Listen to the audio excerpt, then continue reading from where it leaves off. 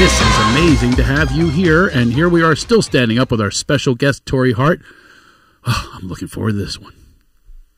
Hello, we got the action signal. It's just like filming, Right. but uh, but it's not. So here we are. This is a podcast. It's called Still Standing Up. I told you ahead of time. This is a lot about still standing up because a lot of us have been knocked down. Right? You've been Mm-hmm. Knocked down a few times in your life. Right. hmm Yeah. Well, even if we both have been divorced, Yeah. That's a knockdown right there. It is. Man, and we still standing. God, we didn't kill ourselves. Barely. Wow. Sometimes you talk about killing yourself, and not not literally killing yourself, but sometimes I'll be in the shower and just go, "Man, really, God, really, what else is in store for me here?"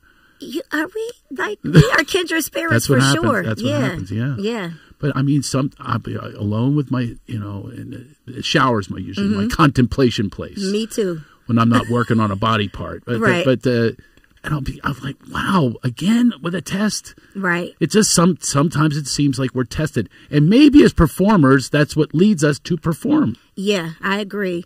And I, I think it's insane how we both like come up with our thoughts in the shower. I, I come up with so much material in the shower. It, I mean, I have to program my thoughts too, because sometimes, you know, when you're in there, it's just hot water coming down and you're Mm. just thinking. And so it's like, all right, let me get out of here because I'm going left. so, yeah. Well, the, the thing is about the shower, though, it, it is this place of. Uh, it's I always consider it like a sauna. People take saunas. I make my shower really hot. Right. How about this Wim Hof? They do the cold thing. Have you ever done that? The cold plunge or the cold shower? No, I would never want to do that. My son, he's 14, says, I do cold showers. What are you talking about? Says, It wakes me up. I go, just wake up normally. Right, right. don't need a cold shower. I don't, I don't understand that. And you can't contemplate when you're cold. You're going, oh, this sucks. Yeah. That's all you're thinking about. Right. When I'm warm, I'm in the womb again, and I'm really come up with amazing thoughts. Yeah. We should have a camera in our showers. yeah, I don't know. By the way, I didn't like that you went, looked at me when you said, I don't know. You looked at me up and down. No, because I'm like, you know, that's a little too personal. Maybe not. No, no, but that's the thing is, as comedians, we are very personal. We do Yeah. reveal. That's what part of this show is about. We reveal things about ourselves, our experiences that perhaps can help other people get by certain things in their life, Right. like divorce, Right. like other difficulties we've had. Now, you grew up in Philly like me. Mm-hmm. Philly and Jersey, actually. So I was born in Philly, but then I moved to Jersey. You moved it. What mall? Yeah. Oh, There's always a mall Oh, nearby. in Jersey. Deptford. Oh, you're Deptford Mall. yes. Okay. Yes. We used to go over there to, Okay. to drink in Jersey. Oh, yeah. You know, what? nobody. I never said this before. You don't know this. Definitely, you don't know this because no one else does. I went over so many times. My friends called me the Jersey Giant. Where are we going, Jersey Giant? I go Club Aljo or the Blind Pig or whatever it was. We go over to the, and drink in New Jersey. That was, Okay. that was the big spot, and all the hot girls were there. Okay. There you go. I, I've never been to none of those spots, so you wouldn't be talking. To, when you say hot girl, I wouldn't be one of those. What? what no, what are you talking about? No, I mean you wouldn't go to any of those bars that I just named. I did not like Jersey too much. I was mad that my parents decided. I mean, thank I thank God because you know they were moving on up like the Jeffersons.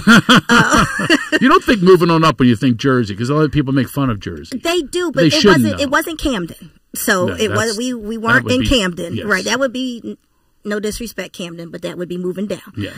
Uh, but we did move to a nice area, so it You- would be so moving you, up. You grew up a suburban life after starting in I the city. did. I'm Yeah. like a city girl uh, and a suburban girl all in one. Yeah, and it could be a kind of a contrast, Mm-hmm. an inner contrast, even because you like the comforts. Right. Like, eh, if you get too comfortable, you're not that funny. You're not that creative.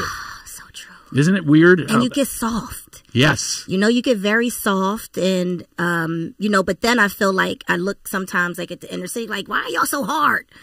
You know, like life is good. Like cheer up. You wonder why you keep going through stuff because you're creating it. Yeah. So, So, there is yeah. some sweet spot between the two. Yes, Like you were saying, you like my mug here that I gave you. I uh, do. I love your between mug. Namaste and Kiss My Ass. yes. And that's because you do yoga. I do. I do hot yoga. I go actually right down the street. I go to CorePower. You do the hot yoga. I love it. Where they shut the windows. When they shut the windows, they turn the temperature up to 100 degrees and you're just sweating and, you know, you're in your thoughts, you're stretching. My thoughts are only get me out of here. you gotta be kidding me! I can't breathe.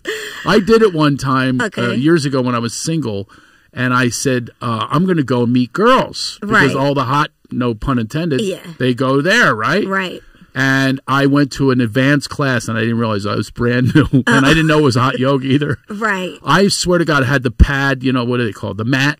Mm-hmm. And I was dripping so much, it, it, sounded like a gutter was emptying on the. It was like making sounds, Right. and, and the women were looking at me like in disgust. Yeah. Like, why is it- there so much water under Oh my him? God, he smells. He's and, Right. I'm, I'm, and I'm groaning. I'm making noises, and I finally went, "Somebody open the window." Right. that was not received well in the yoga class with all the spiritual people. Yeah. So, needless to say, I didn't meet anybody in yoga class. It Okay. was not a good move. Sorry. Hot yoga. Why would you choose to torture yourself like that? It's not torture for me. It I isn't? love it.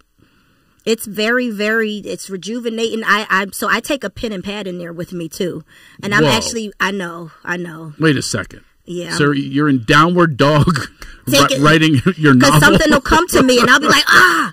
Because you know they don't want you to take phones in there, so you have to have your pen and your pad. This is another way you and I relate. We keep talking about this, how we're connected. I'm Okay. the same way. I can't meditate for that reason. I have to have a pen Right. next to me when I freaking meditate. But have it. That's fine. Meditate, because I do too. So have your pen and paper with you, because that's thoughts coming right from the creator. Constantly, yes. Yeah. That's what people don't understand is when you do tap into your creativity or tapping Right. into your creator Right. that comes up with this. It's mm-hmm. not us and our minds coming up with it. Right. It's really tapping into the flow. Mm-hmm. Mm-hmm. How do you tap into your flow on a daily basis? What's your what's your mechanism that you use, your method? Okay, so I pray a lot. Mm-hmm. Um, I think I, you know, I was telling you a little bit earlier. So I come from a very spiritual background. My grandmother started a church. She was a minister. Um, my two aunts are ministers. I have three uncles. Uh, my cousins, they were the band in the church. I love it. um, you know, and so every Sunday, that's what we did. We would go to the church uh, on um, Mount on uh, Area, as a matter of fact, and you know, Philly? in Philly, yeah, wow. Mount Moriah. I wonder if that's where I went. Probably not. No, no, no. You're laughing. I've never Okay. told this to anybody before. I was taken to a black church by Myrtle. I love. She was like a mother to me. Okay. And uh, African American. Mm-hmm. And I actually, she spoke in a way that I will never forget. She didn't have to say words. Oh, she spoke in tongue? Mm-hmm. Oh, um. okay, okay. So you tell me what I'm saying. You be the interpreter in what I'm saying. Mm-mm. no. No, you did not. It's like, more like, no, you did not. No, you did not. Right. mm-hmm. Yes, you did.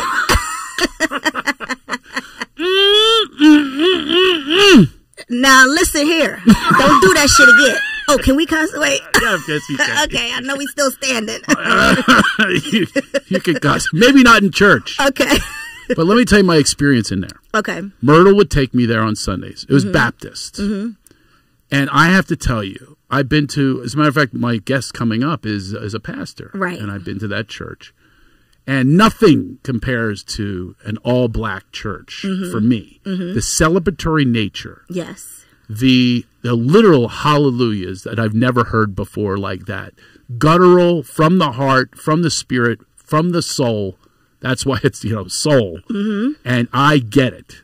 It is it is beyond anything I ever could experience at, a, at another place. It's it's amazing. So I What do you think it is? Why do you think that is the difference? I have my theories, but I want to hear your theory on why I'm sitting there. I'm going, it's hallelujah, it's praise, Right. it's it's uh, talking back, talking. Mm, you go, say you know I it, say it. I think the ancestors. I, I think it's you know because you know a lot of the with our ancestors that were slaves. You know we used hymns and scripture and spiritual songs to get through it. So I think it's like sometimes you're just connecting, you're channeling. I know for us, like it's it was nothing like praise and worship. I mean, mm-hmm. and every week. You know, my one aunt, she would she would preach and she'd be like, "We gotta win the war." like, and me and my sister, we'd be looking like, didn't we win the war last week? Like, there's another battle going on. Like, I don't how many more battles, but my aunt Jean, she was always like, we gotta win the war. So in our minds, it's like we gotta win this war, you know, and Yeah. it's the war against Satan. But we're like, where is Satan at? We can't see him. So you know, but I think that's what goes into it. It's that, um, you know, and you feel good when you're praising and you're worshiping. It just, you feel tingly. It's uninhibited, though. It's un- Right. uninhibited. I think that, and I'm trying not to be racist against whites, Okay. but Well, you're white. I don't think you could be racist. I'm fourteen percent. I'm 14 percent African. You are? which part? Which part of Africa? Ghana. You're Guyanese. Don't give me that. Don't give me that look. Okay. I'm Guyanese. I'm not half Chinese. It's, No, Guyanese. Yeah. The Guyana. What is it? When you're from Ghana. what- Ghanaian. Oh no, Ghanaian. That's I'm Ghanaian. Ghanaian. Yeah. According to 23andMe. That's that's that's what. Okay, correct. But there is something that resonates with me. I'm telling you, Myrtle had a great effect on me. Mm-hmm. I mean, my mom watches the podcast. She's going to get upset with me, but Myrtle was like a mom. My mom was at work. right, right. And Myrtle took care of us, Mm-hmm. and and just was like introduced me to foods, introduced me to heart Mm-hmm. that I I just never experienced with you know I don't again I don't want to be prejudiced white people. Yeah. I don't experience this with white people. right, I, and I'm just being honest. This is just what I got. You know, you and I connect instantly. Yeah. You're wondering why? Well, that's why. I have something inside of my soul Right. that has a connection. It doesn't matter 23 me It's just it's something I respond and resonate with when I'm at that church with her. Mm-hmm. You know, I'm sitting there. Mm, amen. You know, it just it's a whole other hallelujah. It's a whole other. It's a celebratory thing. I like celebrating life. yeah, yeah. And I find that white churches, no offense, if Rob's probably in the other room, the pastor, but I have an unbelievable time. I cry in there as mm-hmm. well. You know, I've been at synagogues. I don't have the same synagogues. You're davening, you're doing things. It's all by rote. White, you know, in the other churches, all by get up, get down, get up, get down, and all that. Yeah. Here, it's just like you're in there and everybody's a community. Well, black people, you another thing, we like to be entertained, okay? And we're not I'm sure you notice, you know, when you do comedy, you do a white room versus a black room. Oh. It's like you got to bring it a little bit more than say when you go do a, a white comedy room because black people we're like, look, we paid our money. we want to be entertained, okay? It's just like when we go to church, it's like you want me you want me to pay tithes, I need a show. so, you know, we, I never gotta- thought of that's the reason. Yeah, we got to give you a show. Dancing on stage. and- Right. And, and, and, even the choir. I was in the Mm-hmm. choir when I was a kid. Oh, you got to just be still. Yeah. You go to a black, it's there is Yeah. a, a whole rhythm thing going on. Don't wait till the battle's over. Shout now. show, hallelujah, and, and and the preachers and the Yeah. whole cadence is different. hum. You know the preacher, and I call for God right now, hum. Like they're Hum. gonna give you a Come on, give whole right. I mean, you did T.D. Jakes. Get ready, get ready, get ready. Like it's like, oh my God, this is so fun. This is what I paid for. Right, Yeah, I'll put more in that collection plate. right. Because it's a show. You're going to pay for a better show. You gotta put I on never thought of it that way. Yeah. Well, we're going to leave it right there, and uh, it's called the tease. It's how when you write, you have to tease. Oh, a tease, I'm yes. Gonna, I'm gonna te- no, not like nan nan nan nan. Right, right. but we're gonna we're gonna tease the next segment that's coming up, and we're gonna find out some more answers right after we take a pause.